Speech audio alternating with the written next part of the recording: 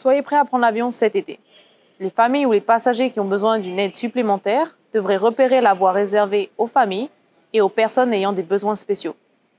Cette voie dispose d'équipements de contrôle pouvant accueillir des articles de plus grande taille, comme les sièges auto et les poussettes. Et les agents de contrôle qui s'y trouvent peuvent offrir une aide supplémentaire.